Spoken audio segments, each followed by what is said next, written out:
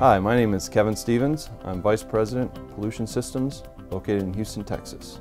Pollution Systems designs, builds, and services industrial air pollution control equipment. We mainly focus on thermal and catalytic oxidizers, as well as wet scrubber technology. Each of our thermal oxidizers are custom designed for our customers' operating process and performance requirements.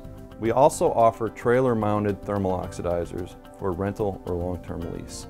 Our company is different than the majority of the companies out there in that our salespeople have a good technical background and application knowledge with the products that they sell. They work with each of our customers to make sure that they understand the different technologies available and the trade-offs between the different technologies so that we can get the right product and solution for their particular situation. All of our services are turnkey proposals which are designed to correct the problem the first time and minimize production downtime.